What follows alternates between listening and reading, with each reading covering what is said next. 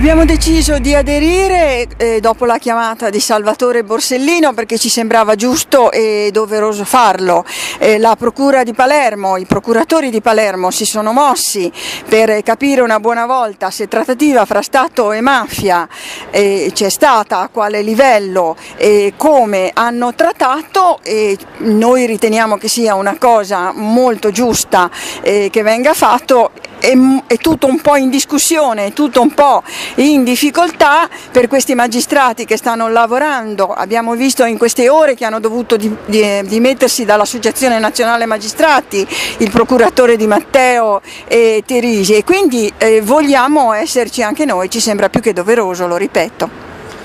un eh, momento assai particolare in cui siamo passati eh, nei mm, più importanti quotidiani italiani eh, a parlare da trattativa Stato-mafia a presunta trattativa. Per quale motivo si è aggiunta eh, questa, questo termine presunta? Il termine presunta è un termine che ci angoscia da sempre, perché noi la trattativa Stato-mafia sappiamo tutti benissimo che già nei primi processi di Firenze che sono andati a sentenza passata in giudicato del 2002 si parla di trattativa se ne parla, la sentenza chiude con la famosa frase se ci, trattativa ci fosse stata ci sarebbe da inorridire, andiamo poi al processo Tagliavia che chiude dicendo in un primo momento trattativa c'è stata e quindi questa parola presunta che navigava eh, sempre diciamo, davanti a noi ci dava particolarmente fastidio. Poi a un certo punto un po' decade perché forse le voci di quelli come noi, di quelli che comunque presunta non lo potevano di certo dire, era stata un attimo eh, surclassata da quelle voci che la trattativa c'è stata, insomma lo ha detto una corte di, eh, di primo grado a Firenze.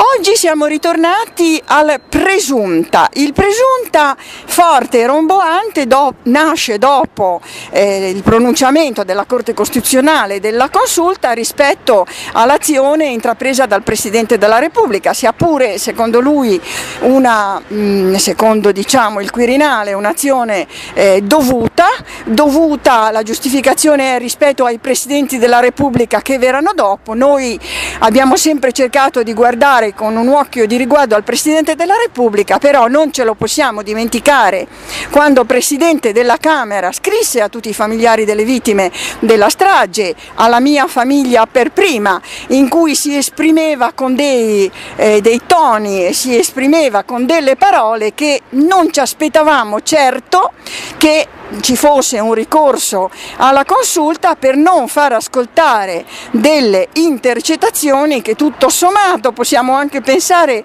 che non nascondano no? così grandi cose, però a torto o a ragione avremmo forse dovuto tutto sentirli, perché se è vero che il Presidente della Repubblica ha delle grosse responsabilità verso i Presidenti della Repubblica future, è altrettanto vero che ha delle grosse responsabilità, un po' come tutti quelli che hanno ricoperto grandi azioni istituzionali come la sua, ha delle grandi responsabilità verso un po' quelle che sono le stragi di questo Paese anche le nostre stragi, quelle del 1993, è una verità che la nazione aspetta da tanto tempo, forse quelle due telefonate o tre quante sono, andavano fatte ascoltare per chiudere, per chiudere con giustizia tutto questo.